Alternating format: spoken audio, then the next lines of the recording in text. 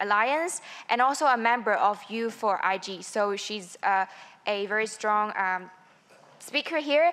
And next to Jaewon, we have Renata. So um, she's an international human rights lawyer and digital rights advocate. So she's currently the director of the International Smart Citizen Foundation, mostly um, operating in Latin America.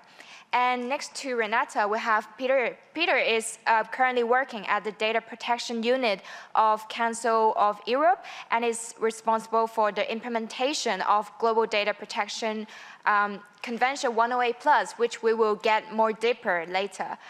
And next to um, Peter, we have Lee. So uh, Lee is a uh, uh, representing, working at Google and uh, work as the public policy um, department. So uh, he will talk more about how the Asian uh, region working on the data protection.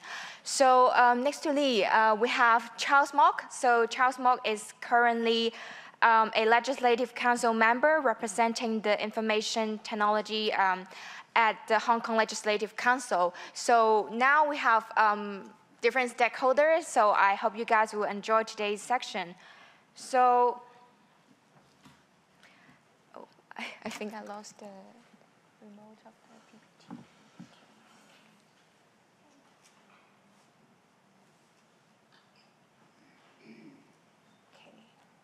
So here's our speakers, and next uh, will be um, all the organizers. So we want to put a page here because their efforts are also appreciated. So um, actually, we would like to start by um, Peter to sharing more about how the Convention 108 Plus, because many people talk about GDPR, but they actually um, forget about actually there's another more visionary framework about data protection. Thank you. Yeah, thank you very much. Good afternoon, everybody. Thank you very much for the organizer for having me here in this panel. It is a great interest from my organization uh, to participate at the IGF and especially in these uh, kind of um, um, workshops where we can discuss uh, the um, construction of a global uh, data protection framework or, or, or, a global protection for individuals. The Convention 108 is the only legally binding international convention on data protection uh, it has been open to signature in 1981, and although it's a Council of Europe convention, it is open to third parties. Um, as of today, we have 55 parties joined to it, 47 uh, member states of the Council of Europe, out of which 28 slash 27 um, maybe uh, of the European Union, plus eight countries from all over the world have, have already joined the convention. Uh, there are much more observers uh, uh, to, to the work of the convention as well, gathering states from, from, from across the world and also organizations which are interested in a uh, global reflection on privacy and the right, uh, right to privacy and to data protection. And uh, so, as, as, it has been already said, we hear a lot about GDPR, and maybe it's uh, one of the weakness of the Council of Europe to not making that much of uh, advertisement or, or uh, outreach um, to, to the world, but it's, uh, it has been changing for the last couple of years. Uh, we try to um, primarily reach out to governments from uh, all across the world and to uh, regional organizations which are, uh, which are having the aim to protect privacy. And we have some very good uh, relation already established uh, in the Latin American region, uh, in, in, in Africa, but we, and I can say it very openly, basically completely missing any contact or meaningful interaction with the Asian, uh, Asian region. Um, we also have some challenges uh, in the implementation of the convention because as, uh, as I said, this is a convention which uh, has more than 40 years. Uh, so it, it, it, needed to be modernized and to, to be updated to be able to tackle the, uh, the challenges from the digital age.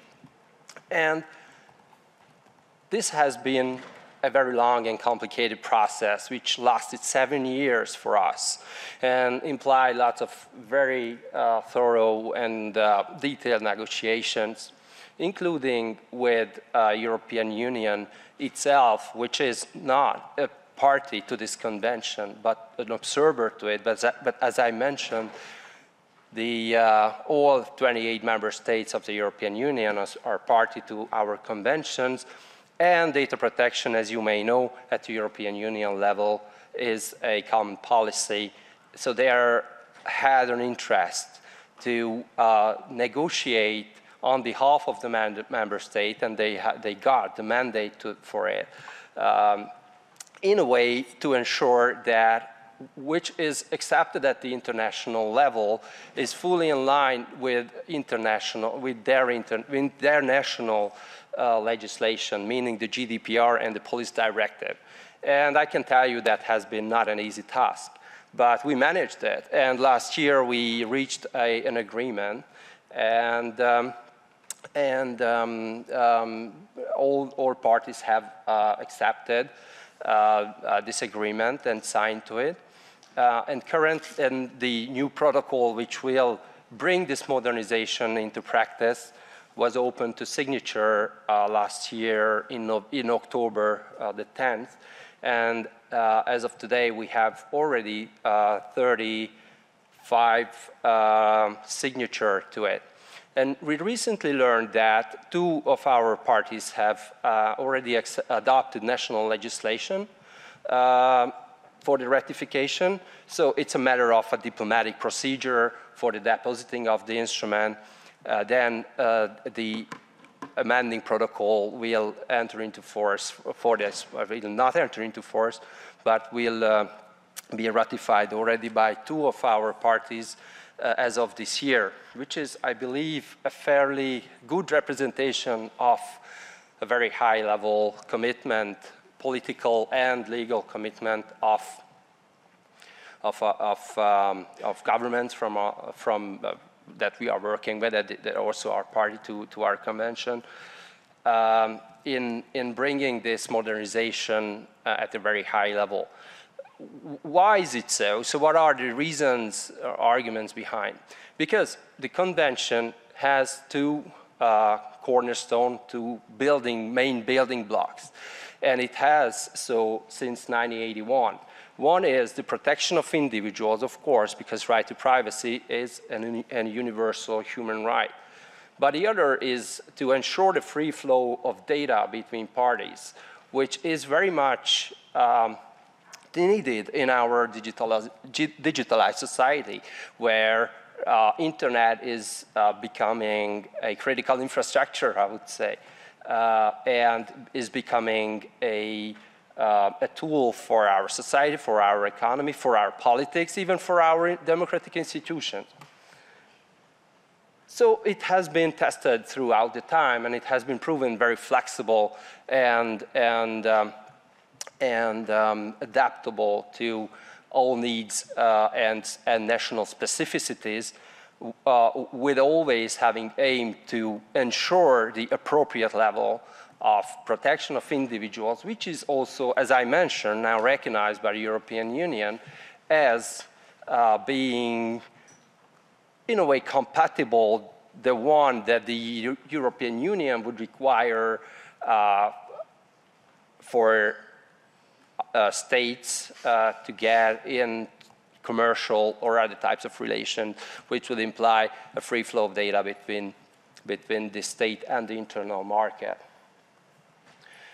The other challenge is uh, the implementation of the convention. And I am again very open here because at, in the hand of the committee, which is responsible for the implementation of the convention, uh, we don't have anything right now under this current regime, which means that a party uh, is got evaluated while assessing, uh, exceeding, I'm sorry, while exceeding the convention. But after this, we don't have any mechanism in place which would, uh, which would uh, measure uh, or which would assess the implementation or the level of implementation of this country. But it will change with the modernized regime, and the, the, uh, the committee will have a very, will receive a very important power, which will be uh, the monitoring and the follow-up uh, mechanism, uh, which will be put in place, uh, similarly to other committees that we have at the Council of Europe on money laundering, trafficking in human beings, on, uh, on corruption. So the Privacy Committee will also have this monitoring power, which would result at the end of the day, we believe, in a much more harmonized way of implementation. The third challenge we have, I would say, is really the lack of information and the difficulties to reach out to interested stakeholders. Uh, and it is especially relevant, and it is especially the case in the Asian region and um, in the Asian countries and, the, and, the, and, and, and in Asia.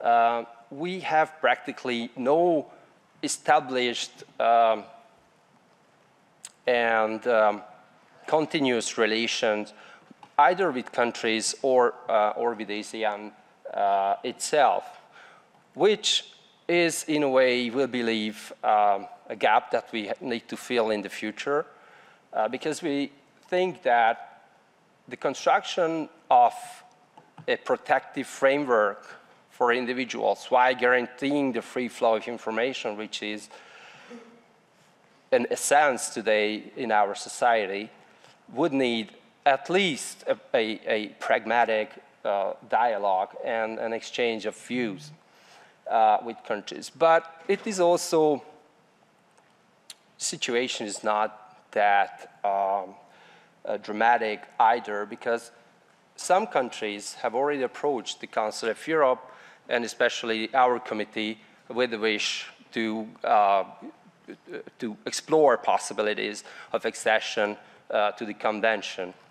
And we have especially uh, South Korea, for instance, with, uh, with, uh, with, with, which we are working very closely together and, very ha and has a very bright and, and, and, um, and um, an imminent uh, prospect of, uh, of uh, a possible accession to this convention, which would also be very interesting because this country approached us while being discussing the adequacy decision with the European Union. We also have this kind of parties, uh, Argentina, while having a, a adequacy decision from the European Union guaranteeing free flow of information between them, uh, between Argentina and, and the internal market of the European Union, they decided to exceed Convention 108, and they were in the first row or among the first to sign the modernized one, so they wish to remain uh, within this club. So I will stop here. There are different uh,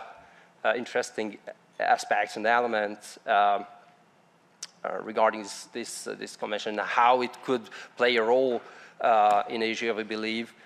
Um, and I'm very much open to the discussion. Thank you. So thank you very much. Um, so we have a very interesting insight of um, how the essence of uh, Convention 108 Plus is and what are the challenges facing. So before moving on um, to the discussion, I would just uh, shortly introduce how we're going to work out. So we will start, uh, we were having two roundtable discussion. So um, after a panel discussion for around like 10 minutes, we will open to the floor. So get ready for the questions if you have any. Okay. So um, these two um, are currently our um, first part, uh, first roundtable discussion. So we will want to see what are the fundamental principles and also what are the difficulties when we are dealing with personal data in a cross-border context. So first, I would like to um, invite Lee to talk more about how the Asian region is working on data protection. Thanks.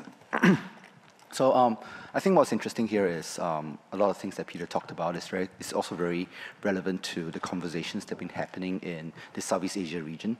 Uh, for those who are not familiar to Southeast Asia, there is a regional grouping called the Association of Southeast Asian Nations, ASEAN for short. It's uh, 10 countries, uh, Brunei, Cambodia, Laos, Indonesia, Myanmar, Malaysia, Singapore, Vietnam, Philippines, and Thailand. Um, and they've been, uh, it's, it's, it's, a, it's, a, it's a way to group the 10 countries together to think about their growth as a region. Um, they are bounded together by quite a lot of uh, commonalities. You know, as a region, we're 700 million uh, people strong um, and very young middle class, growing and a lot, very entrepreneurial. But at the same time, it's also very diverse in terms of language, culture, as well as economic development. Um, you have uh, uh, developing countries such as Laos and Myanmar, and very advanced countries such as Singapore, and Malaysia, uh, who have already in place some data protection laws. Um, what's interesting here is um, the grouping of the ASEAN nations uh, came together to think about what can they do when it comes to cross-border data flows. Um, and I speak of this in the sense that the digital economy in Southeast Asia has been growing quite rapidly, um, partly because of entrepreneurs, and also partly because of its very young population. It's very, uh, it's very online population. It spends a lot of time online. And from that perspective, the two points that Peter raised about one point about the importance of um, privacy online, data protection online, and importance of cross-border data flows are exactly what the two kind of pillars of conversations that have been taking place in ASEAN. Um, the governments understand that as uh, users are online, they need to make sure there are rules in place to protect their, their information online, right? To protect them from scam, protect them from uh, phishing and scamming. But at the same time, they also notice that a lot of the startups are starting to grow and are starting to think about how are they going to export their services and help and, and be in touch with the rest of uh, the region. Um, ASEAN as a, as a grouping has agreed to work as an economic bloc um, to and, gender economic growth as, society, as well as societal growth within Southeast Asia. So this, this piece around digital economy then becomes very important for them. So I think in 20, I think it's 2016, um, the grouping agreed on a, uh, can look at this online, uh, on a framework for personal data protection. It started with that, with a view that, you know, how do we then engender with, um, personal data protection within ASEAN? And that has then evolved into another framework called the uh, Digital data governance framework as a foundation on how they think about protection of personal data protection in ASEAN, followed by how do we then, and then uh, use that to facilitate cross-border data flows. Their view is that you can, you can protect personal data online while facilitating trade and economic growth. So that's very similar to, I think, what the Council of Europe is thinking about. And I think what, what's that's also very interesting is this just two months ago in Laos at the, I think it's the 19th Telecommunications Ministers meeting in Laos. The ministers agreed for the region to work on a cross-border data flow mechanism, a detailed mechanism, um, to facilitate cross-border data flows within ASEAN. Um, part of that is thinking about how do we create a mechanism that's um, not too heavy, in a sense that it creates high compliance costs, particularly for SMEs and startups. They want to make it um, in such a way that's business friendly, but still in, you know, very data protection centric at the same time. They also need to take another challenge they need to think about is how do we do it in a way that is helpful for countries where they don't necessarily have a data protection regime in place yet um, how do we help these countries think about data protection, and how do we help them on this journey towards in, in, uh, putting in place a strong data protection framework for their users in their countries, while allowing their startups and SMEs to think about export and think about the uh, ASEAN growth. So a lot of these um, their documents are published online um, by the ASEAN Secretariat, so do, do look it up online. Um, I wanted to raise this just because I think it's, it's very important that um, to note that there's a lot of common um, thinking around this topic of data protection and cross-border data flows across the country. And I think one important um, output that we might want to think about and, and, ideas that want to share today is how do we then facilitate more of these conversations between regions so that regions can, can, can learn from each other the best practices as well as think about how can they harmonize um, or at least have some sort of consistent data protection uh, framework just for compliance or, or to facilitate cross-border data flows. Thank you. So uh, thank you. So uh, we have observed that actually uh, the importance of cross data flows has been um, getting like stressed like uh, for quite a long while. So I'm I'm thinking like if Jaewon, can you share some more um, situation about developing countries as well? Hi, this is Jaewon speaking. Um, so to before getting started, I like to talk about my background about this um, position. So Uh, I'm currently working at the International Fund for Agricultural Development, and I have a development background. So uh, when we talk about these issues, I like to talk on behalf of what does these uh, developing countries facing of. So um, before talking about how can we have the universal data protection, we should think about the developing countries first. Some people doesn't even know about what is data protection, what is their privacy right and the human right. So um, before getting started about all this universal acceptance and everything, we should like first raise awareness of why is it so important and what is it about to the developing countries um, according to the data, there's like a 20, uh, 1% uh, of the countries around the world who doesn't even have like a regulation or um, laws for the data protection, and most of them are from developing countries. So without having the proper regulation in their own country, we wouldn't be able to have the universal or unified um, regulation around the world. So that's the first thing I wanted to mention and uh, why we are looking for why, what is the main reason that they do not would be able to have proper um, regulation for their own country. Um, it is not only because they don't have funding or human resources, but also because there's like um, a lack of guidance uh, when they are about to make all of the law and um, legislation, um, the inconsistent uh, law happening in the low court. Uh, for example, when there's like a human right violation occurring around uh, online, when it comes to the court, there's uh, because the judge and the lawyer do not have um, adequate um, regulation about how they are gonna be able to judge on uh, specific privacy laws.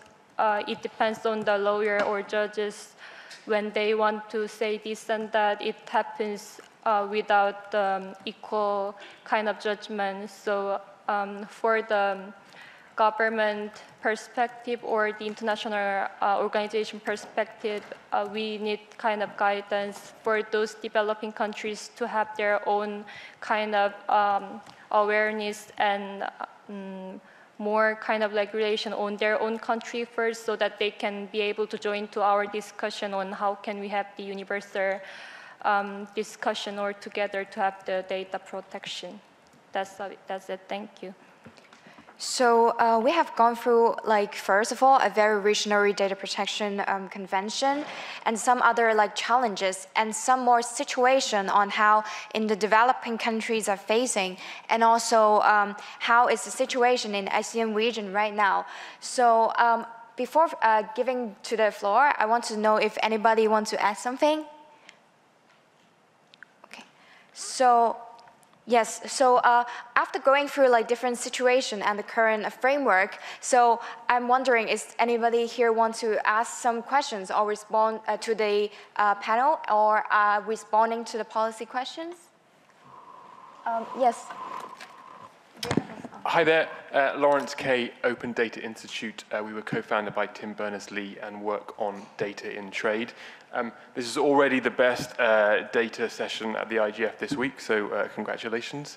Um, so the uh, discussion of data protection is very important, but often happens in the absence of uh, the combinatorial innovation that comes the, through the, you know, uh, data sets and sharing data across borders and the way that you've discussed uh, your regulatory cooperation in, uh, in ASEAN with regard to respecting both data protection and the potential through trade um, sounds uh, really impressive. And it's impressive because it's very difficult to have those structured, productive conversations about such sensitive topics with regard to data and innovation.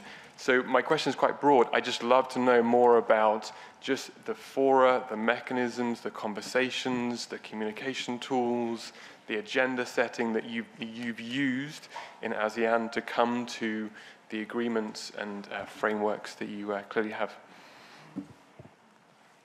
Okay, yes. So maybe we will ask one more questions before. Yes? I'm Klaus Natalis. To my understanding, the ASEAN move is more towards a cybersecurity approach.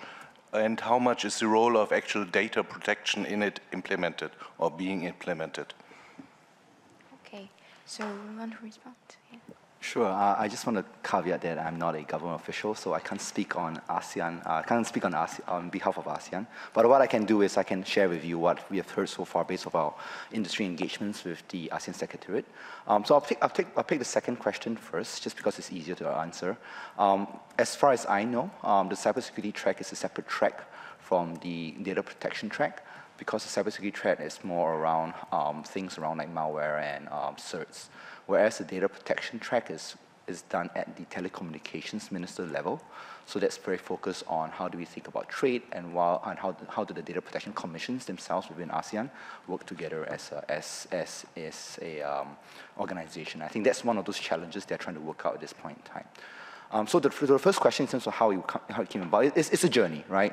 Um, the, it didn't start out with a view that they just wanted to think about data protection on, on, on its own. I think um, a lot of it came, came from the fact that as a region, ASEAN wanted to be a economic community, thinking about how does it enable the flow of people, flow of trade to enable uh, economic and social growth. Um, and from there, it became from a building block. Um, I can, and I can, I'll just read out in some sense what the framework and the values is based on. I think that's a really important one because that provides a foundation on how the governments then talk to each other and, and directionally how they're going to move forward, right? So in terms of the values that they are looking at, the guiding principles for data protection in ASEAN is one, a consensus-driven, bottom-up approach based on accountability a SME-friendly approach that allows organizations of all sizes to participate. I particularly like this point because I think a lot of times we forget about the small players. Um, an inclusive approach that allows participation by all ASEAN member states, and I think this point goes to the point about how do we then involve developing countries that might not have the expertise. Uh, an inter interoperable approach that strives for integration with other regional frameworks, I think that would be very useful for the Council of Europe in this case and an ethical approach that promotes transparency and respect among all ASEAN nations. So you can imagine this is very consensus-driven. This is very ASEAN-like. Right? For those who have been working with the ASEAN um, region, they know that this, this, this is how the region moves. So it's not a fast way to get things done, but it's an approach that allows everybody to move forward together um, and really be, be aligned in terms of what they want to achieve, right? Uh, which is why it's taken a number of years to reach this stage. Um, but nonetheless, I think the members are very happy with that. Um, as a result, there's a lot of, there's a lot of um, discussions. There's a lot of engagements with in industries. Um, they do invite industries in very frequently, uh, apart from industry players like Google and, and, and even um, uh, SME associations that represent SMEs across uh, um, Southeast Asia. They also involve people like the GSMAs, uh, people from other, other nations. They, they involve uh, governments from Korea and Japan in all these conversations. So it's, it's a lot of conversations, and then they'll go back to text, right, as, as all governments are very used to. And then they start building out text that they all can agree with, and then working out from the roadmap. So they have an established working group that looks at all the details uh, before it you know, floats up to the ministerial level. Uh, I, think that's a nutshell, that's how the process they, they are working towards. But if you would like more, I'm happy to chat, chat with you offline. Okay, so um, do you guys have any more questions? Yes, yes, please.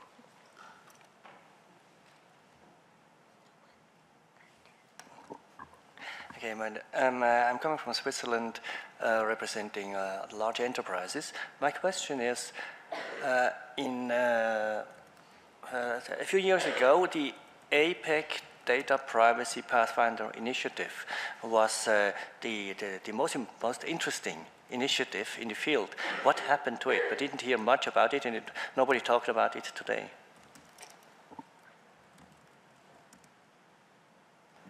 Okay. Um, just because I know as well of that happening, um, it's related in some sense. I think the APEC CBPR, as is what is commonly known, is still very much alive.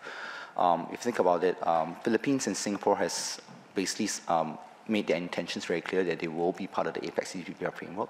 And some companies have also started to uh, register themselves under, this, under the CBPR framework. Now, I think there are some challenges with the CBPR framework in terms of um, the process it takes. It can be rather intimidating for countries. And particularly for ASEAN, what I can say is that not all ASEAN economies or member states are part of APEC. So in that sense, from a values perspective, um, it is not that inclusive in that sense for all ASEAN nations, which is why I think they, they've also included this piece around interoperability. I think their ambition is hoping to see that once they develop an ASEAN framework, they can then work with other regional blocs to figure out, okay, how do we help achieve this consistency across regions? How do we look at mutual recognitions, for instance? What's the mechanism for that, right? To allow, uh, to, to, to, spread this, this, um, this framework that they have and, and link it up with other um, similar type frameworks. Um, I would say that for APEC stuff, uh, I'm no expert on APEC, but I do, I do, hear there's still a lot of interest in that. Japan is still very much uh, a champion for APEC CBPR, um, and so is Singapore and the Philippines. Okay. So um, it seems like, yeah, okay, this gentleman, thanks. Hi.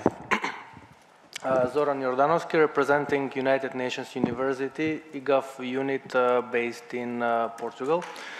Uh, my question, or my comment in this area is, uh, do you think that uh, as far we are going with this adoption of new uh, legislation for data protection around the world in, in, the countries and all of these regional initiatives, do you think that we came to the moment when, because more of the laws uh, more or less look uh, same, all the principles are more or less harmonized and recognized by all the, all the countries, um, do you think that we came to a moment that United Nations should take the lead in this area and start working on some universal convention where uh, all the countries around the world will uh, will be able to join and then we'll have uh, universal standards uh, adopted and recognized around the world which will also facilitate all of this cross-border exchange of data and data flow.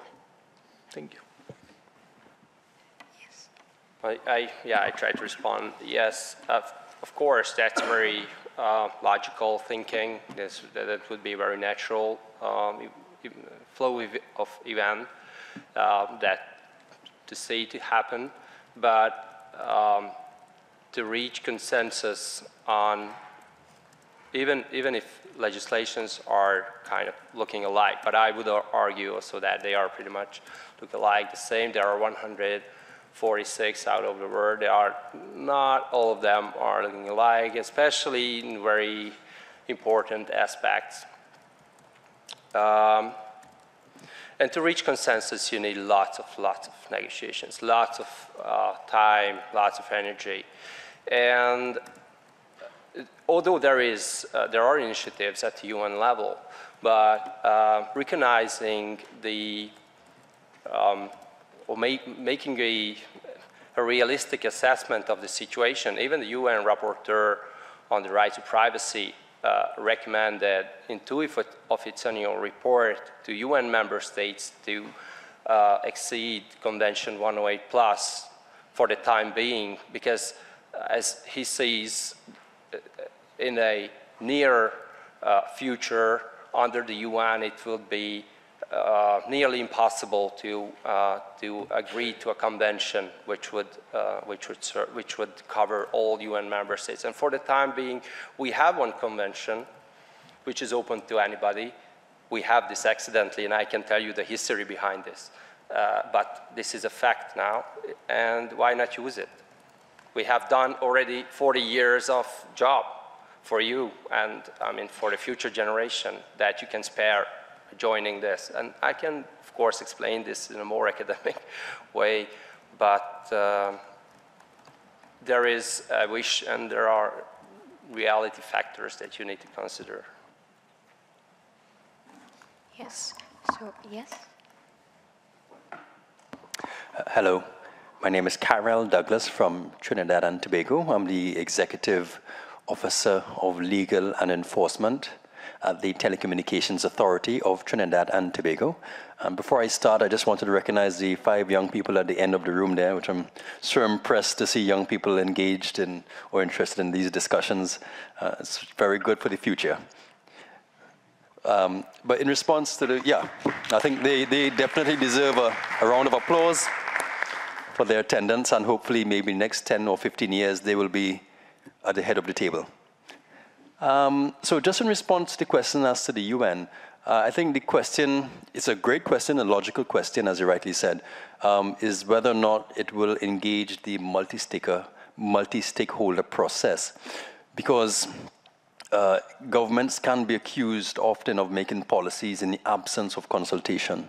So if you have the United Nations, for example, providing you with a document, having got this document from different governments, the first question somebody may ask is, did this or uh, have these governments um, consulted uh, with the relevant parties, the private sector, the business, academia, uh, and so forth, true multi-stakeholder. So when you make a model, when you have a model coming out from the United Nations, um, it then questions its legitimacy. Um, does it have the support, let's say, of um, wider uh, populace, uh, uh, which we are meant to be governed by? So if we're going to be governed by this Data Protection Act, has it gone through the rigors of that consultation process? So that would be my one concern. But I think on the practical point, if that is done, and we assume that the governments would do the right thing, then I think it's a, a fantastic start. It's something that you could can, can consider.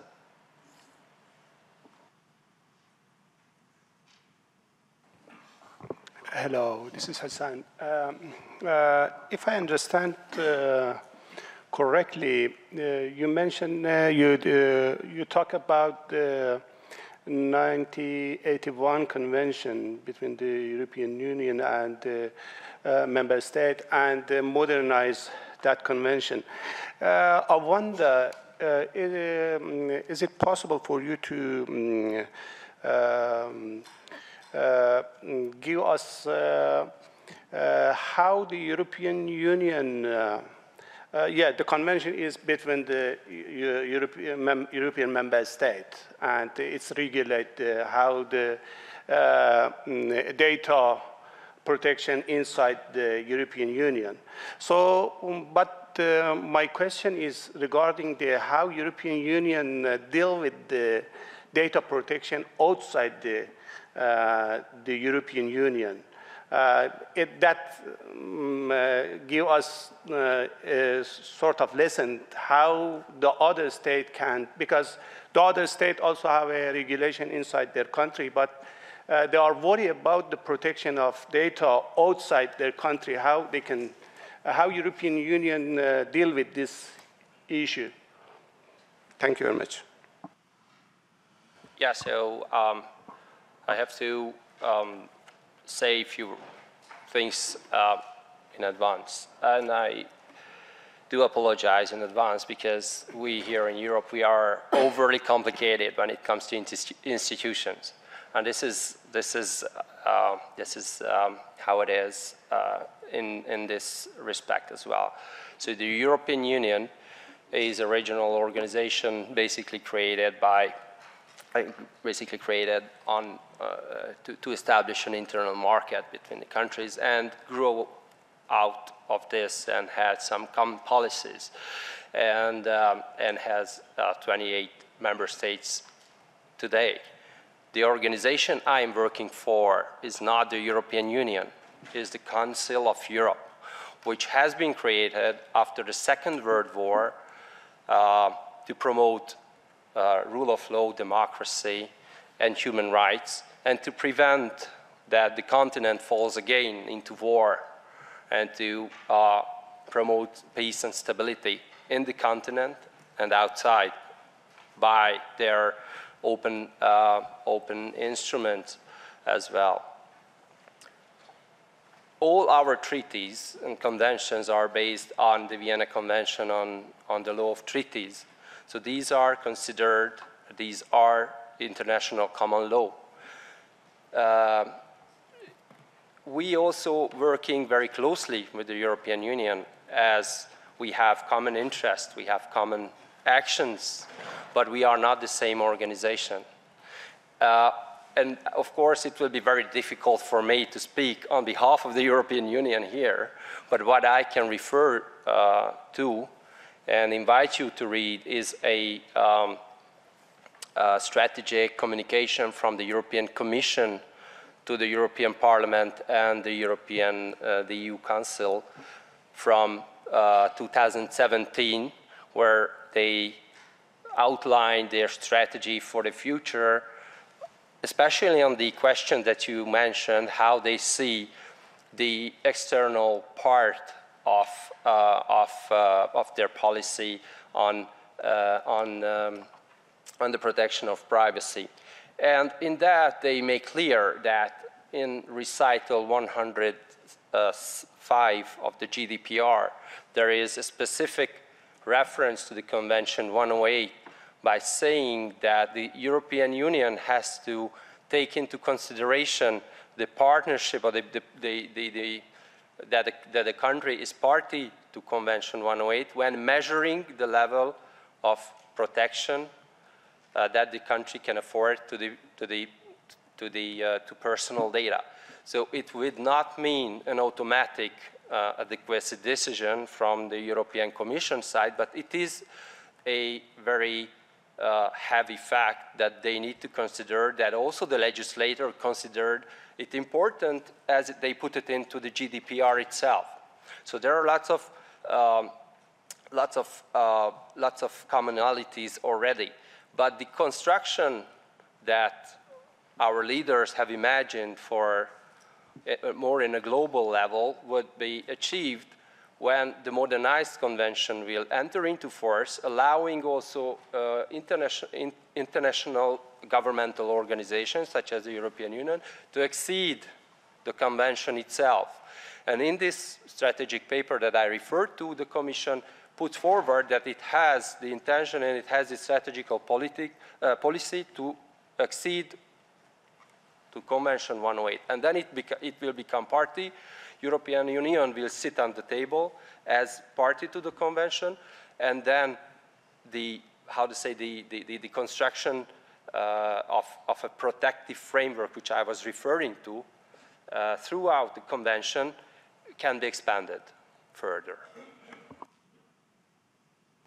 Okay, so uh, since time is running out, so um, I will briefly summarize uh, what we have just discussed. So actually, we talk about uh, many of uh, different examples um, in different countries. So what we can see uh, is very important here is that each countries, they should have mutual trust in terms of cross-border um, data transfer. And meanwhile, there are still more um, cooperation and con uh, conversation are required. So what are difficulties that are facing us right now? So um, for, uh, first of all, we uh, lack of like uh, more information and it's very difficult to reach out to different um, uh, stakeholders, especially the government. And we sometimes, uh, for many developing countries or underdeveloped countries, they lack of the funding to support it. And also, um, it's most of the time a very long and complicated process to actually come to a consensus and conclusion and evenly uh, and eventually to a framework. So um, next, uh, we, we will uh, give the mic to Charles. So uh, he will talk more about um, his idea on this topic. And meanwhile, we will move to the second part of our discussion. Charles. Okay, thank you very much introduce myself. I uh, was uh, the founding member, founding chairman of the Internet Society in Hong Kong. Uh, before that, actually, I uh, started and run my, ran my ISP business uh, more than 25 years ago. And uh, now I am a member of the legislature in Hong Kong. So I moved to become a useless politician. So um, uh, what I want to say uh, in response to uh, the questions and also the presentation was that um, because probably I, the, the problem that I see is that maybe I am a lot of times very much engaged in looking at the legislation and looking at enforcement and issues like that. Uh, my question is, first of all, looking at universal data protection framework is definitely very important. But how do we do that when many of the countries or jurisdictions do not have good uh, privacy or data regulations to begin with? And how do you harmonize them? They don't even have it. Many of the countries don't have it. Or for the countries that have it, like in Europe, uh, actually even the United States don't have real privacy laws. You know, they're just starting to do it with California. So the, the, the, I, am not trying to say that setting up the ideas for a framework is not important. Actually, it's very important. But we have to put it into perspective. What is the real use of having such a, uh, and what, what can you accomplish with such a framework. Now, uh, coming back to Asia, I think it's very interesting to me what uh, ASEAN is doing, what uh, Lee was talking about. Um, but of course, Asia is still very big, right? ASEAN is one part of it. Uh, but uh, and, and maybe some of the jurisdictions and the legal framework they can align it better because of the fact that you know they are basically one free trade area uh, the, actually more than that. ASEAN is uh, the, the, relationship between the countries even more than that. So I'm, I'm, I'm starting to think from a legal perspective, is it worth looking into for countries that are establishing these free trade agreements, that they actually put data related, privacy related issues as part of the uh, uh, uh, free trade agreements. Sometimes in, that are negotiated between individually between countries, or sometimes with a whole region. You know, of course, uh, free trade agreements these days are probably taking a backseat or, uh, or backtracking because of the Trump administration, but that's another matter that probably won't last forever. So um, the other issue is about, the people mentioned about the, uh, the GDPR you know, it's interesting that uh, we all look at GDPR and we think that this is uh, very advanced, cover a lot of areas.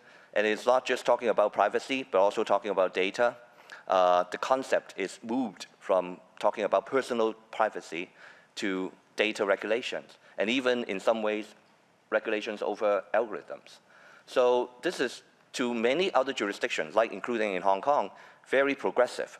Now, the question is, um, in, you know, in some ways, in, for, for us in Hong Kong, because our law is rather backward and uh, uh, there's not teeth, enough teeth in the regulations, sometimes we even imagine, you know, some of our companies that get into big trouble with leaking data, uh, like Cathay Pacific, uh, we, our government cannot find them, cannot punish them. Maybe if the U European Union can do that for us, we, uh, we, we, we, we actually would be quite happy. Uh, but uh, I mean, some, some of our citizens would think that. So the, and we know that many of these uh, countries are talking about uh, cooperating. Our privacy regulators, we know that every year they have huge conventions sharing a lot of information between the regulators. But I have to also caution that a lot of times these uh, data protection laws, regulations are very political, locally, because of many stakeholders. You know, this, uh, and a lot of times I think the civil society participation is not enough.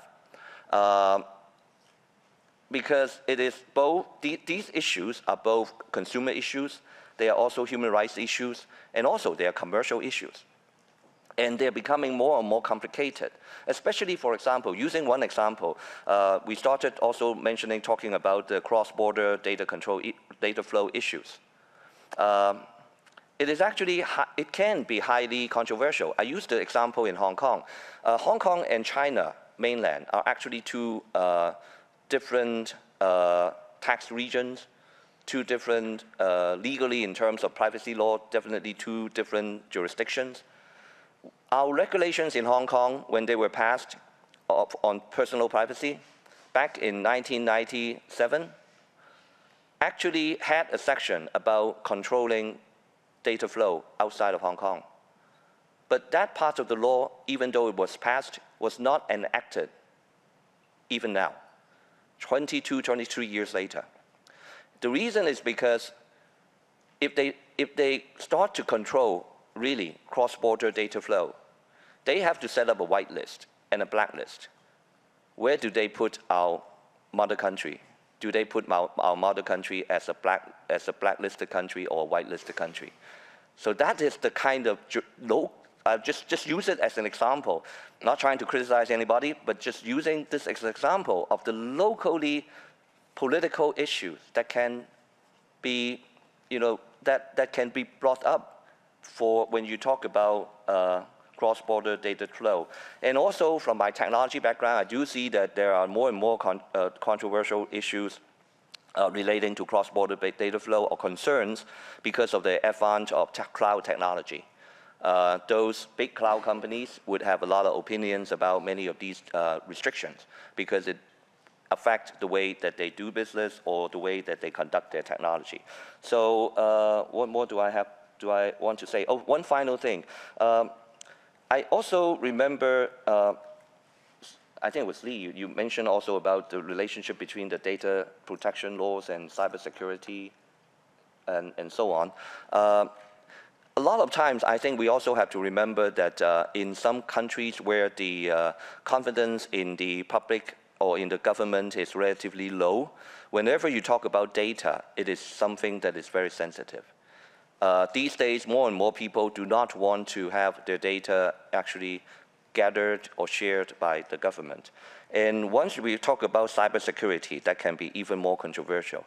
Can, I, would, I would see a number of countries or jurisdictions in Asia having passed recently cybersecurity law that basically are becoming tools of surveillance for the, for the, for the, for the, for the national government. Uh, these examples include China, Macau, Vietnam, and so on. So I think from the, eh, from the concerns of the civil society, uh, human rights organization perspective, uh, there are a lot of concerns. So while we might be very, uh, you know, trying to look at it from a uh, legal or data protection uh, uh, point of view to start with, I, I don't offer any conclusions. I only offer that this is a very complicated issue. So more training, more understanding from the civil society and the population would be very much needed. Okay, so thank you, Charles, uh, for your remark. So uh, we are now moved to our second uh, roundtable discussion. So, okay, so before watching the questions, so maybe Renata, you can add some more from your human rights lawyer perspective on this issue. Yeah, and I wanted to address also what, what can we do locally, because um, I mean, on average, a law in a developing country will take like 10 years and uh, somehow, as you were saying, uh, the trade agreements move faster uh, sometimes than the uh, local legislation, and then you have to implement. Uh, what, what, moves fast is when a developing country has the pressure of the big actor to, uh, to legislate or to implement an agreement. Usually, um, from the experience of the IP laws in Latin America, that, that's what happened basically, and it's a good uh, is a good uh, history to read uh, to not repeat the mistakes that we did with copyright re regulation. What happened was in the late 90s, a lot of trade agreements were signed, and we, like really, developing countries tied the, their hands to have a legislation that was logical for their needs. Developing countries need uh, more uh, exceptions and limitations to copyright, for example, uh, to improve access to knowledge and so on. Similarly, I think that with the data, we need to, we need to prevent ourselves to uh, get, we need to protect our privacy, of course, uh, but we need to do it in a way that is doable, that is effective, not uh, to commit ourselves to a system of criminalization and and regulation that cannot be implemented locally. What, what I want to say is, uh, um, lately I, I, am hearing a lot uh, the big, a big push uh, to adopt in really small countries that do not have the personnel uh, able to even understand the minimum, uh, a big push to implement GDPR as the standard. And um, I worry a little bit about it because it will happen one size for all is not adequate for this kind of policy. And it, it might lock the opportunities that some developing countries have to uh, adopt a data frame that will benefit them. And what we have now is the two streams, uh, a big push for some countries that are leading and that want to connect the next billion, a big push uh, to, uh, to deregulate, to liberalize the data, to have very relaxed regulation and no enforcement. And on the other hand, the European approach with the GDPR, and I think that in between, we need to find a good frame uh, to uh, regulate uh, data protection and data flows for those developing countries that will not have the money to implement the big infrastructure that the GDPR requires. Uh, so uh, for that, I think that the, I, I, agree that the uh, European, uh, the, the, European Council, the sorry, Council of Europe frame is the most adequate. Uh, because it can be localized uh, uh, domestically following logic that is, is according to the needs of the country. And also we have in parallel, because that also will take time, will take efforts, will take a lot of advocacy, but it's already happening. Uh, but also we have three alternatives. We can strengthen regional consumer protection frames. I think that that's actually the starting point. Many, uh, we, we are rushing into like data protection authorities. In some countries, there's not even a consumer protection authority. And that goes hand in hand. And I think that uh, uh, a robust consumer protection frame can benefit a lot of these countries left uh, in the middle. Um, also, uh, strategic litigation. I'm very fond of strategic litigation. When you don't have the legislation, you uh, push for rights uh, using the human rights frame, for example, human dignity, discrimination. You can find a, a, a right violated by a data abuse. It, it, doesn't have to be data for the sake of data. You can find, like, you know, an outrage, uh, outrageous case of uh, human rights violation and push uh, the court to examine it and to, uh, to order, the, in some countries it's possible that the court orders a matter to be legislated. And that can be a an, uh, quick, creative way to get uh, that data protection activated. And the other is standards in industry. I think that, uh, I mean, if we, if we would have waited each and every country to regulate for uh, belts, seat belts in cars, we still be like uh, with, uh, with uh, different levels of protection in different countries. So in these kind of issues, I think that the industry, like pushing the industry and advocating the industry to have privacy by default and privacy by design and stop designing and deploying things that are like obviously harmless in Europe for the privacy of citizens and pushing for that kind of global standards and demanding as consumers and demanding as citizens that we are treated with the same respect as European citizens and disliking and stop uh, using the products and services of companies that treat users differently according to the passport, I think that that's a good step forward. Why? a company, uh, um, a tech company will have different protection for some users and different protection for others. We, we all deserve the same respect and dignity. So I think that uh, global companies especially is, uh, is, is following the same logic of pharma. You have, you have um, for example, the same regulations for medicines and those who are like harmful uh, here harmful everywhere. So uh, following that approach, I think that we could uh, speedy protect uh, those countries that uh, even without uh, the common data protection frame. Some, some ideas to play with? Yes, so Yes. Um, so Renata just talked about like some what are the small steps to um, fostering a new universal data protection framework. So I guess we still need to hear more voices about civil society. So John, can you add some more um, um idea on this topic on how we can design a framework?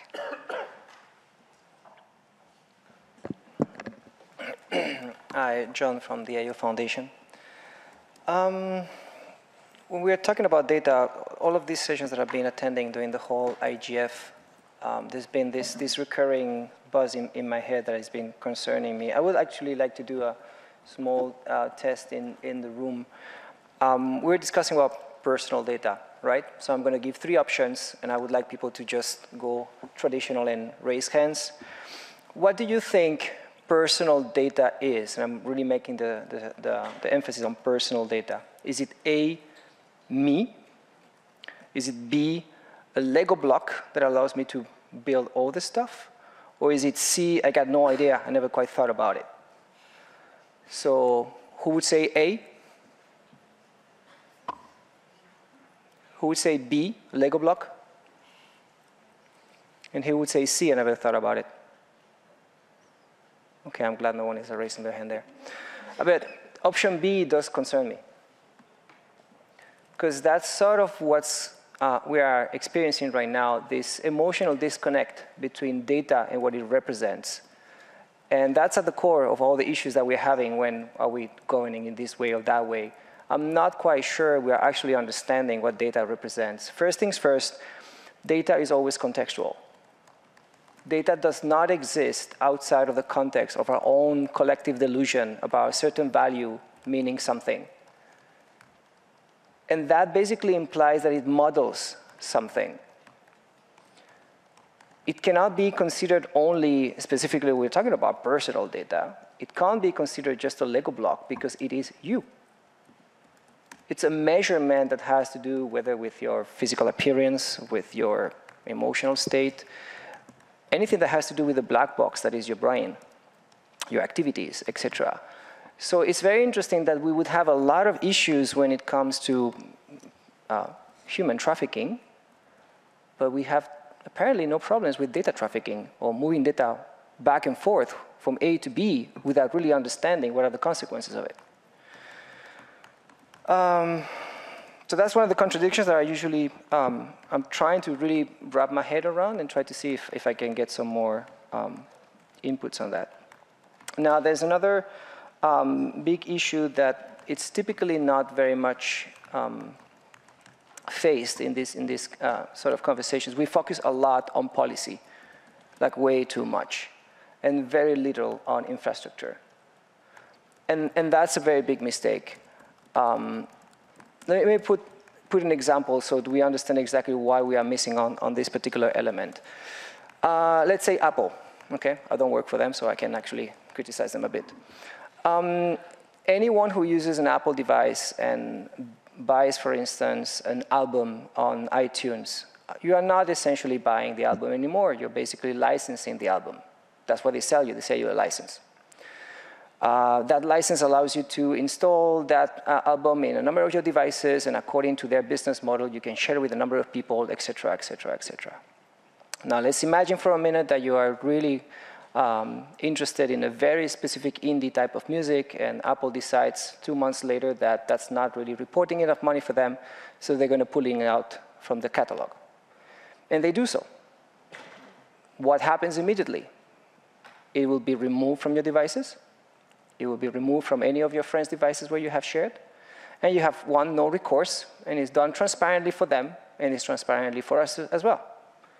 Why can they enforce that? Well, because they do have the infrastructure.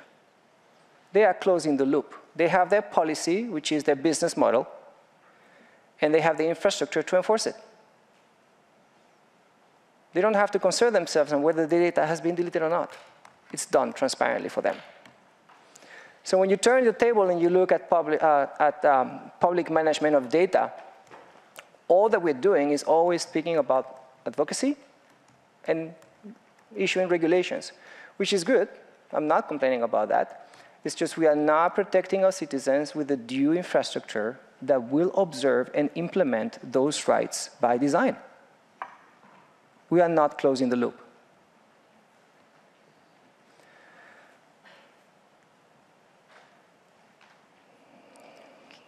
So, um, yeah. So, um, John just uh, mentioned a, a, a, difficulty that um, the fact is many people now they, still fail to uh, recognize the importance of data and how like this related to the rights and to even their property, they, even their identity, and also the lack of infrastructure. So before uh, moving to opening the floor, um, do you want to add something? Yeah, I just wanted to say that what regulations are providing us right now, uh, because of the lack of infrastructure, is the responsibility the transfer of responsibility to the shoulders of the users to make sure that when they request data to be deleted, for instance, that is done. We don't have that technical reassurance. And it's, it's pretty much ridiculous. You can't ask people to be monitoring 24-7 if when they request the data to be deleted from a specific service or vendor, that it has been done. It should be transparent and absolutely automatic for them. So um, now is the time for the floor. So anybody, okay, this lady over here. Um, I'm from Hong Kong. I come from a civil rights uh, sector, and I would want to make some remarks on what is actually personal data. I don't think personal data is exactly me, as in that sense, but it's not, of course, it's not property or commodity that you can sell or trade because after you gave up your data, it still relates to you and it's still your data. But it's not like your car, your computer in that sense, but it's more like your emotions or your feelings that something can, can never be separated. But I think more interdisciplinary approach should be implemented in trying to figure out what is personal data because we cannot come up with policy or regulations without truly knowing what, what we are trying to protect because um, the GDPR is so far the best thing that we have right now, but we all see that there are a lot of problems that it is not able to catch up with the development of the technology. There is clashing with uh, like blockchain technology and different things because they can never be removed once it's put on blockchain. Or it's very hard to remove, I have to say. It's technically infeasible. And I think this also points to another problem is about the cultural differences of different places. For example, in Hong Kong, people don't really think about what is personal data as people in Europe do. So when we try to come up with a universal um, implementation of what data protection should look like, that's always going to be a problem because for like an ordinary citizen in Germany and an ordinary citizen in Hong Kong, they certainly have very, very different perspective of what privacy and data protection should look like. And having a universal framework is very hard because it's difficult to address each culture's definition of data. And another thing is how does we make this kind of framework work? Because we do have international frameworks, but international law, it's just a framework and it doesn't work in many cases. If one country refuses to ratify that contract, then it's done. There's nothing that we can do. And privacy, um, infringement to privacy has no remedies. When your data is lost, is lost forever. And there is not, paying you with money or compensating you with money does not help with the infringement itself. So I think it's, we still have a really long way to go and honestly, I don't have any solutions at this point, but I think we should really start relooking into what is personal data as a start.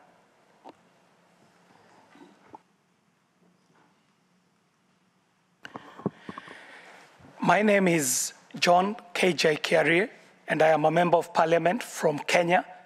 And um, I'd like to talk about an interesting question that you raised about the impact of uh, regulation uh, in the global south uh, compared to what is happening in the global north. And I'd like to report that uh, we can speak with authority as Kenya on this matter because we have just recently passed our Kenya Privacy and Data Protection Bill. And for us, GDPR was a good starting point. But we got some good learnings to understand that there are some global standards that cannot be applied locally.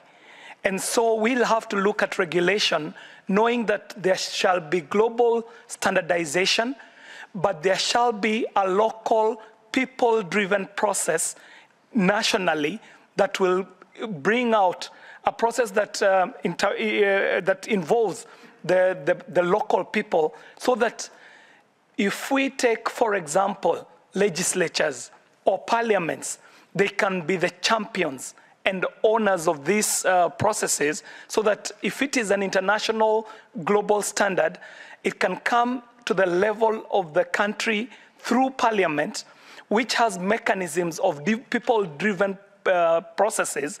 And out of that, we get ownership, and then we get champions who champions it to, to the country. And ultimately, what will happen is that as parliaments come up with regulation and oversight, they will also have involved their people to put in their voice so that the issues that are being raised uh, by civil society can find their way into the regulations that are being made uh, uh, for data protection. Thank you very much. Okay, this.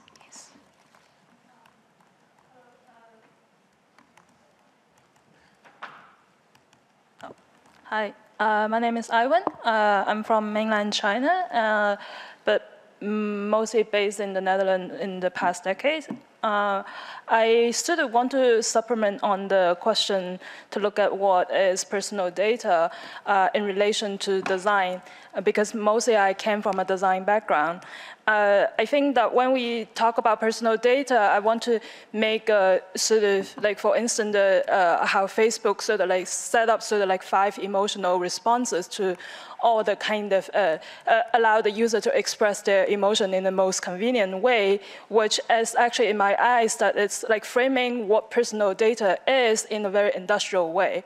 And I, I would, as a designer, I would sort of like really uh, question that at the very first place, whether that is personal at all uh, in relation to like our personal being, and and taking that like uh, taking that, I, I think I would look at that like in two ways. As a user, I would, I would see that as an opportunity to basically hack the system because this kind of industrial uh, framework of like what personal data is, is actually uh, quite inefficient uh, in terms of how it actually addresses uh, who we are as a human being. But at the same time, of course, we cannot really expect all the users will be able to like, would like to instrumentalize that. Um, so the second would be, I think, for the people who are actually designing the um, uh, like how do we actually uh, consider the framework of data set could also be rethinked as well. Like, uh, do we really think that personal data can only be framed that way, or even uh, whether data, uh, like certain kind of data, should be perceived, uh, or like, like how do we actually perceive what is validated as a data set. Uh, so in that regard, I think that uh, I'm basically supplementing, trying to supplement another way to think about what is personal data. And in that sense, like, uh, can we sort of then regulate, uh, when we have a different sets of uh, data set, then can we regulate it in, in, a different way? If that, that makes sense. Yes. Yeah, just a couple of reflections. Um, Yeah, although um, I fully agree that data and um, more concretely data protection uh, can be and has to be always contextual. So you, you, you, always, you always has to um, assess the context of the data. Therefore, you have to have in place the regulation which has enough flexibility to allow this reflection and to, to um, um uphold the the protection uh, which is at an affordable level and or an appropriate, I'm sorry, not an affordable, but appropriate level, and that we can discuss. We have lots of uh, literature what, what does that mean in practice and this is what I'm coming to the point that I wanted to make is that uh, right to privacy is a universal human right which has been declared by the United Nations Declaration on Human Rights Article 12 so although it is contextual all states, UN member states, has a positive obligation to protect this right. Um, and there can be variation, of course, of, on, on, of the protection and the means and measures of protecting, but what is personal data? What is an individual? What is protection? I think that out of the 40 years, 50 years of, um, of reflections that have been uh, that have been going on in academia, in international uh, governmental organization, or in civil society, I can, I think that can serve a, a very good, uh, very good um, um, useful tool for interpretation or for interpreting these, these, these definitions. And I come now to my second point, which is, and I'm very glad that you raised it, the Kenyan the Kenyan uh, process of adopting the legislation. It is really um, one of the success story in Africa, I believe. And the Council of Europe, yes. The Council of Europe itself uh, was involved in this process. Um, and we were giving assistance to the to the government and also to stakeholders how to interpret all, all these things. But because we, as I mentioned, we have um, uh, several programs that can uh, that a state can turn to us uh, and uh, help uh, request us to help to uh, explain or to guide through a country to the process. I'm not saying that we have done the whole process together uh, with the Kenyan government, but at the beginning we participated very intensively. I myself participated at the the, um, at the public consultation. It was really interesting to be there and to hear different point of view.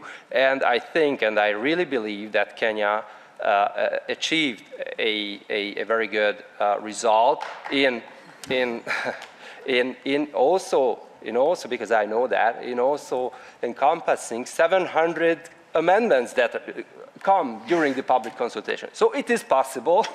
there are good uh, models, good examples for that. So keep on, keep on working on, on the good, on the, well, keep on, keep on trying. And, and there are also uh, international uh, organizations that can help you with that. On infrastructural issues, I cannot agree more. And this is also in relation uh, with uh, work uh, in third countries that we have, and I tried to explain this very briefly, we, we, we, um, we come across the, uh, we recognize that we will not be able to tackle privacy or put in place a privacy legislation without taking due account to the cybersecurity infrastructure of the country, the cybersecurity legislation of the country, and the fight against cybercrime, uh, and, and how uh, the tools and, uh, and infrastructures are put in place in the country. So these three disciplines have to go hand in hand and have to be considered when, when we speak about protection of individuals in the digital age. Yes? Thank you. Um, my name is uh, Alberto Diaz. I am co-founder, um, chief in operations from Hedera, and we develop digital solutions for sustainable development. And we're specialized in impact monitoring. So precisely what we're um, coping with is the fact that we are a company in Germany collecting data from development regions worldwide to monitor on, on the performance of development projects. So um, I find it interesting that no matter which policy is established for data protection, at the end, the, the people related to the data will probably just accept with a click or with a signature the fact that they want to access some certain um, tool or some certain service.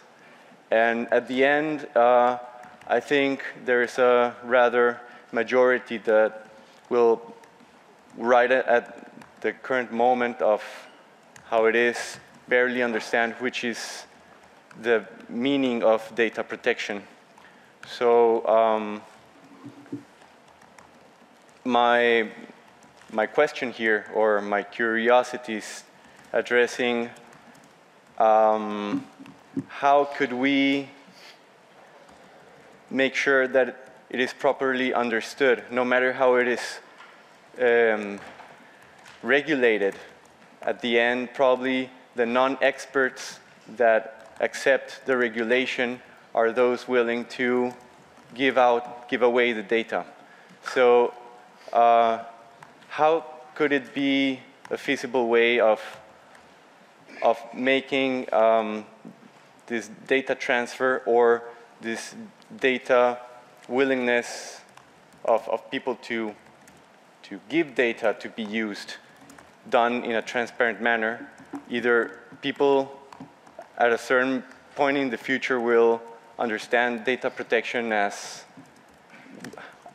as a bare, simple element of life, or is there will be or, there will be a way in which data uh, usage or data flow or data transfer or exchanged exchange will be um, somehow um, overviewed through um, I don't know in a similar manner as we declare uh, taxes is our responsibility to present how we deal with money.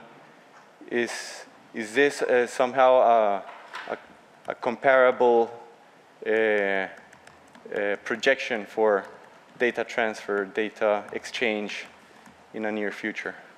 Okay, so uh, let's take one more uh, questions. Uh, yes? Okay, thank you. Uh, this is a quick one. I know time is tight. Uh, again, from Trinidad and Tobago. I just wanted to give the experience. We just heard from Kenya, and of course, compliments to them, and also the Council of Europe and the assistance of that.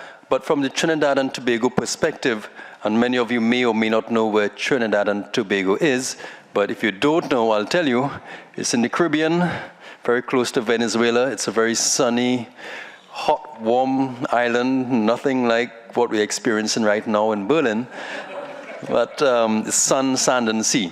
Um, but besides that, we also are in the news because of um, the recent disclosures about Cambridge Analytica. And anybody who has been reading or, or, or listening to the news would know that Cambridge Analytica uh, used Trinidad and Tobago as a guinea pig, as a test model to see how elections can be, let's say, manipulated in the United States and also in England. And now you've seen the result of that with uh, certain things happening in the, in the United States. But it casts a light on what happens or what is happening in Trinidad and Tobago in respect to data protection. We do not have adequate data protection laws. We do have a Data Protection Act, which is uh, 2011, passed in 2011, but it's not fully proclaimed, which means that there is no data commissioner. So if your rights are offended or breached, you cannot, unless you do it privately, you cannot go to uh, the Data Protection Agency, or there is none, or Data Commissioner, and seek redress. You cannot get some sort of redress from that individual because he's not been appointed. What has happened of most recent, as of this week, last week, the government has decided to dust off the, the books and now re-engage stakeholders in a consultation process to hopefully have a new Data Protection Act. We're assuming that is the direction, and also a new Electronic Transactions Act. And why do I say all of this? Because some of the same examples, I think we're all looking towards what is maybe considered as the gold standard for data protection. You know, I mean, Kenya may be the gold standard. It may be. Uh, is it the GDPR? Um, where do we look? And I think it's quite timely given all these things that are happening and the importance of data protection. You've heard Facebook, they've been fined. You've heard, um, well, of course, the GDPR. And there's so many different things happening in so many different parts of the world, uh, drawing our attention to data protection. I think it's quite timely for us in the region, in the Caribbean region, to take a good, long, hard look at data protection. And even as a region, because individually we are so small as islands, we're very, very small. Even on the global map, you may not be able to see some. Some islands are populated by maybe 30,000 people or, or 50,000 people. So it may be an opportunity for us to have a Caribbean data protection regulation instead of individual islands. So I just wanted to mention that as the experience of the region. Thank you.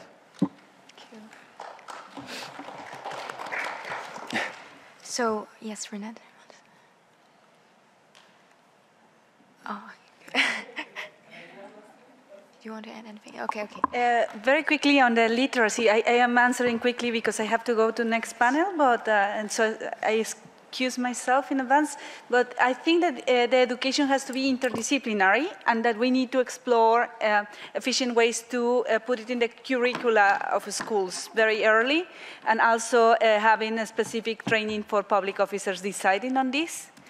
And I think that UNESCO can play an interesting role on that. If we do a reform, and so, so it's part of the things that you learn, uh, I think that will be effective. And I think that we need to learn a lot from the environmental movement. Before, you know, emissions, CO2, all these terms were very, very away from us and not, uh, uh, and we didn't really understand, it was hard to understand how it impacted your life. But if we tell a different story about data and we showed the good sides and the dark sides for different type of people, not only the Cambridge Analytica thing in, in sophisticated democracies. I think that we can get there.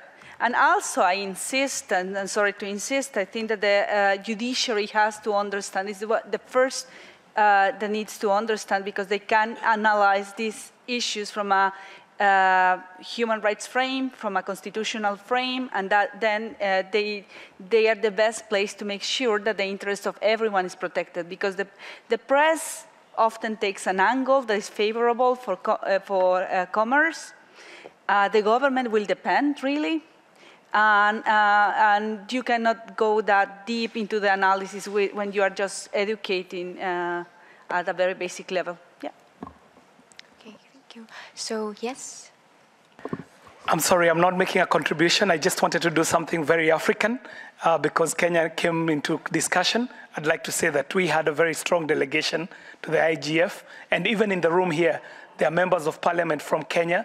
Uh, they can just stand where they are so that uh, you know that uh, Kenya was a bit serious about this, um, including the vice chair of the committee on ICI, GK, Honorable Omar Shukuru, Honorable Wanjiku Kibe, Honorable Liza Chelule, and Honorable Major Bashir, a former soldier who's now um, a champion for a clean internet uh, globally. So we had a big delegation that was represented at the conference and also at this discussion. Thank you very much.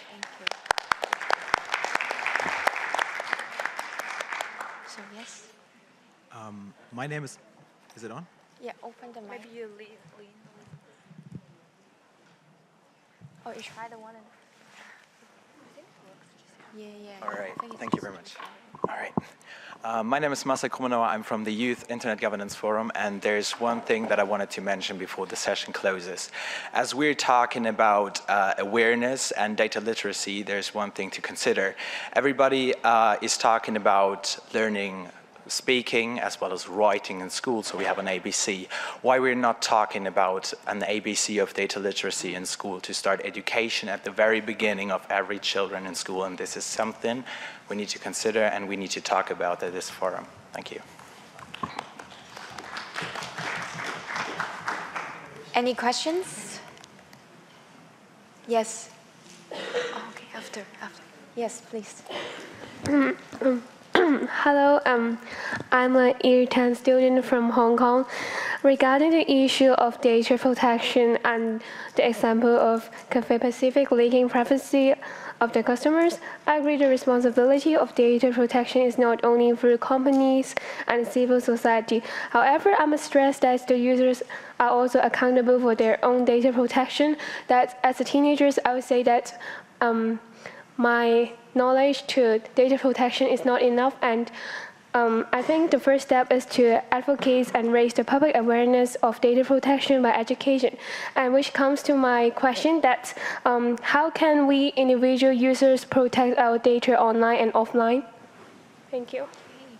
Thank you for your questions. So maybe, John, you can add a bit. Yeah, I just wanted to make some comments on some of the questions that have been um, um, there was um, uh, a question on, on um, is, is data protection um, properly understood or you know the, the, the, measures? And I have a question that do we really need to? Um, it's very interesting. I, I, come back to the point from before. We seem to be shifting the responsibility on how we manage all those things to the user. And it's basically the only, the only industry where we are expecting that. Um, users should not have to be concerned whether data is protected or not. It should be transparent for them period, just as it is for almost anything. I buy a car, I'm not concerned on how it's built, what are the checks and balances, it's safe for me and it's safe for other people, period. I'm giving, I'm giving a service or a product that is safe by design. Um, when it comes to Cambridge Analytica, I have to say this is a very personal opinion of mine. Cambridge Analytica was a joke. Uh, there are way more other companies we should be concerned about, and for some reason the spotlight is just on them uh, but they are just a very small case of what's out there. So let's start thinking about the consequences in global and not specifically um, Cambridge Analytica. For those of you who have watched um, the documentary, The Great Hack, um, personally, what really struck me the most was the fact that there was an actual categorization for algorithms of weapons grade. And that says a lot about what data actually is. I re-insist on my um, um, appreciation before that it's a model. You can't have something that is a weapon if it's not going to be hurting people. And it hurts people because it represents that people. Data is a model of things.